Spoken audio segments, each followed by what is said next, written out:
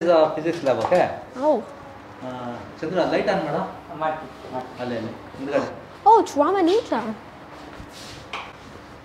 Come here. Of course.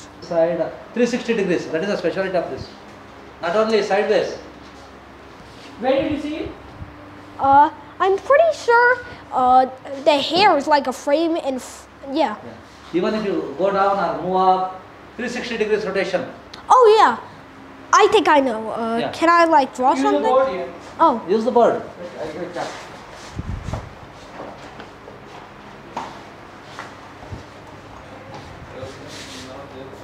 Yeah. I'm pretty sure it looks something like. Can I? Yeah. Hey, come here.